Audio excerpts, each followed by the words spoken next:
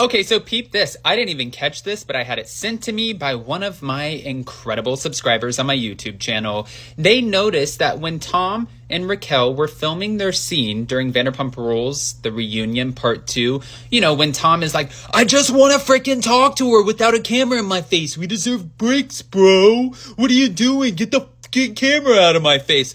All of that, all of the shenanigans well, it looks like they had to pick up where they left off and piece things together when it came to editing the footage. Because in this shot, you see where we obviously see Scheana and she had to go back because we know that Raquel's coming out. She's wearing this sweater with the white and the black on it. Sure, there's like a little heart. But then mid conversation, if you go back and watch the Vanderpump Rules reunion part two, you'll see mid conversation while talking to Tom, they pan back over to her and she's wearing a completely different outfit all black sweater. So whatever happened in between, I'm not sure, but they wanted the footage to look like it was clipped together. However,